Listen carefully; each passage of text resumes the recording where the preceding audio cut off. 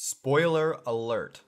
Boruto Chapter 51 went live yesterday, and if you hadn't seen the spoilers, there was a twist at the end that nobody could have predicted. The last new form Naruto got was the Sage of Six Paths mode in the 2014 War arc.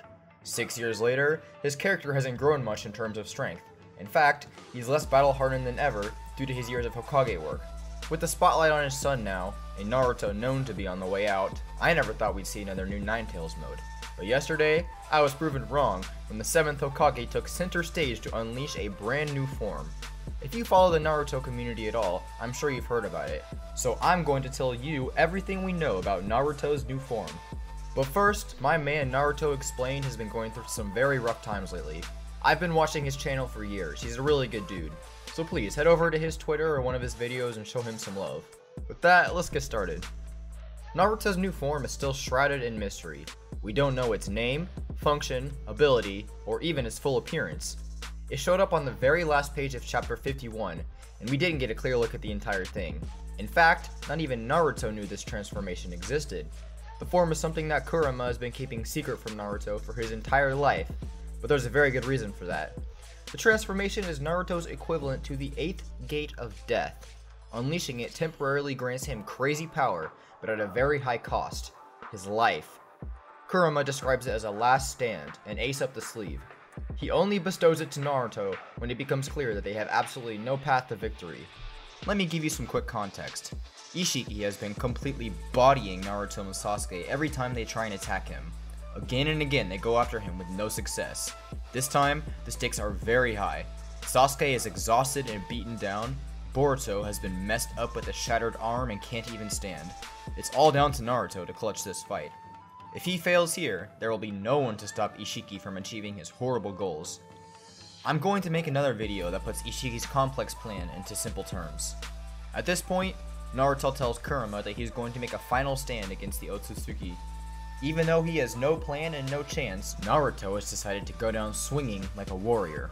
At this moment, knowing that Naruto is going to die either way, Kurama decides to tell him about the hidden ability, a secret tailed beast technique that powers up the user at the cost of their life. Naruto takes the offer, saying he has been prepared to die since the day he decided to become Hokage. Naruto has fully come to terms with his death. He's prepared to sacrifice his life without a moment's hesitation to protect his family and his village. Not an ounce of fear or delay. He tells Kurama that he's ready for it. That is the resolve of a Hokage. This mode is something Kurama initiates, not Naruto. When activated, his Hokage cloak changes to form 9 tails of chakra. You can see a beautiful pattern flowing out of a spiral representing his Jinchuriki seal. There's a line to each tail, 5 on the bottom, 4 on the top. Interestingly enough, unlike other tailed beast forms, the rest of his clothes remain unchanged. His hair appears to form what looks like fox ears, but only one is visible in these panels. His eyes could give us some insight as to the nature of this transformation though. When he powers up to his Sage of Six Paths mode, his pupils form a cross. The vertical split represents the tailed beast chakra, while the horizontal split represents the Sage chakra. This new sacrificial form only features the Kurama pupil. This means that whatever it is, it comes 100% from the Nine Tails. It is not an evolution of the Sage of Six Paths mode. Even so, Kurama knows that it's stronger than Six Paths form. Even Isshiki and Sasuke acknowledge the total change in Naruto's chakra. Isshiki, who's been fighting Six Paths Naruto off and on for this entire arc, doesn't know what's going on.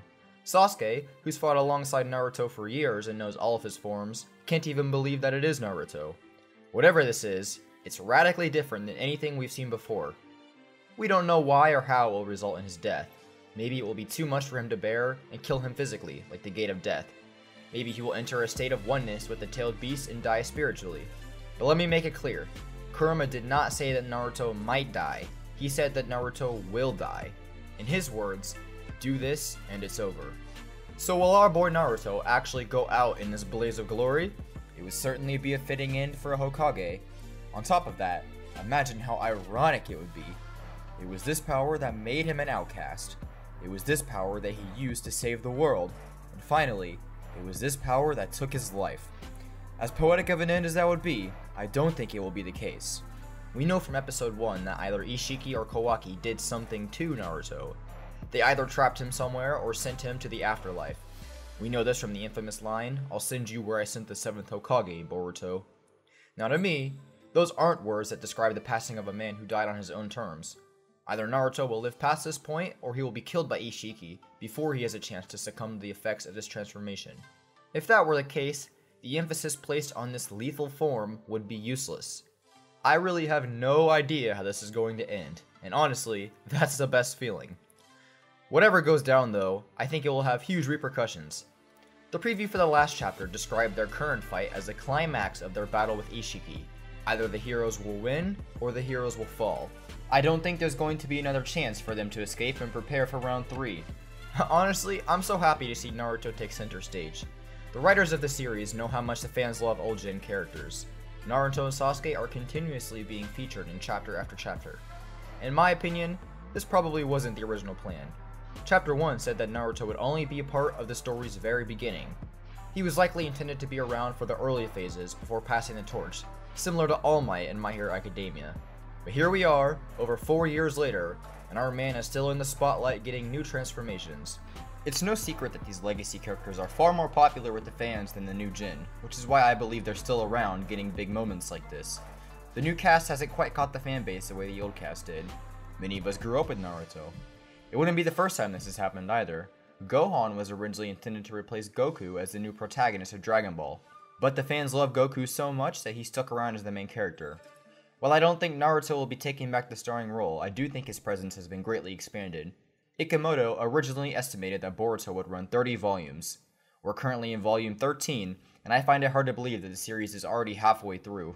That would hardly be the little bit at the beginning that Boruto referenced Naruto would be a part of. But enough about that for now. I think I'm going to make a separate video on the topic. I would love to see next month's chapter focus solely on Naruto vs Isshiki. No interference from Boruto or Sasuke. Nothing slaps like an uninterrupted one-on-one -on -one anime fight. Details are very limited, but I can't wait to see what this new form has to offer. When Guy had his swan song moment, it made him strong enough to nearly kill Ten Tails Jinchuriki Madara. I'm more than ready to see Isshiki get messed up. He's had that same cocky and arrogant attitude, never breaking it since the moment he was introduced. Time and again, he has utterly disrespected Naruto and Sasuke. This man has the biggest butt whooping coming his way. I'm talking Jotaro on Steely Dan. Even if Naruto can't finish the job, I want to see him take Isshiki to the brink of death before he bows out. What do you think his new transformation will do? Let me know in the comments. We'll just have to wait until next month to see what happens. Thanks for watching guys, I hope you enjoyed the video. I've got more Naruto content coming up as well as some gaming videos and other fun stuff. Subscribe and hit that bell so you never miss an upload. I'm pretty new to this, so your support goes a long way. Check out my Instagram for updates on what I'm working on. Links to the music and art I use will be in the description below. I'll see you guys next video.